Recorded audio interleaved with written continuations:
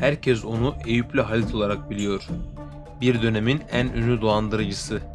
İlginç bir hayat hikayesi olduğunu az çok tahmin ediyorsunuzdur. İşte başlıyoruz.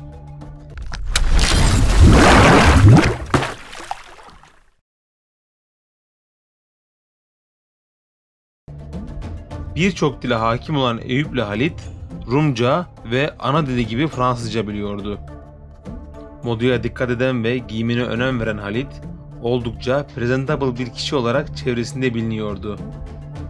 İstanbul'un işgalinin son günlerinde Türk ordusu şehre girmesinde 3-4 gün kala Eyüplü Halit arkadaşıyla birlikte bir ev kiralar.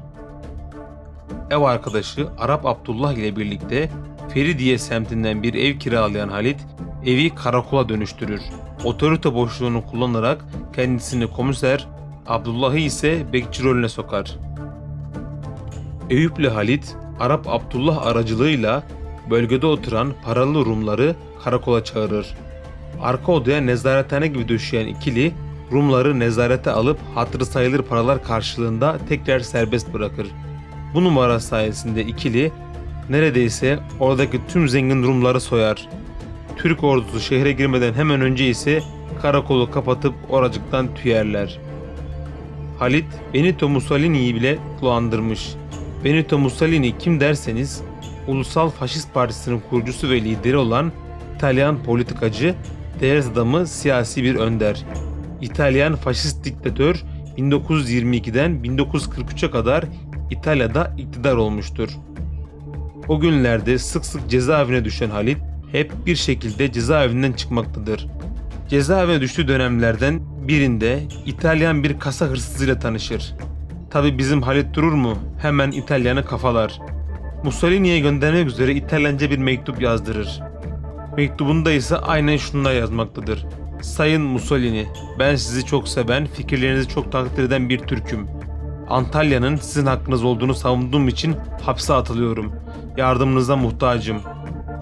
Mektup yollandıktan bir ay sonra İtalyan Başkonsolosu İstanbul Valisi'ne Halit'le görüşmek için müracaatta bulunur. Güvenlik müdürünün o dolandırıcının teki ısrarlarına rağmen inanmayan başkonsolos Eyüplü Halit'e yüklüce bir para bırakarak hapisten kaçmasını sağlar ve oradan ayrılır. Daha bitmedi. Eyüplü Halit hapisten çıktıktan sonra 68 genç kadını evlenme vaadiyle kandırır ve paralarını alır. Sonrasında kayıplara karışan Eyüplü Halit bir şekilde yakayı ele verir ve yakalanır.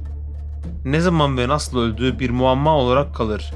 Ama akıl hocası Rahmi Kırbağ'ın dediklerine göre Eyüplü Halit 50'li yıllardan önce öldüğü anlaşılmaktadır. Tarihe gömülmeyecek kadar başarılı bir dolandırıcı olan Eyüplü Halit bugün bile bazı yapımlara ilham kaynağı olmaktadır.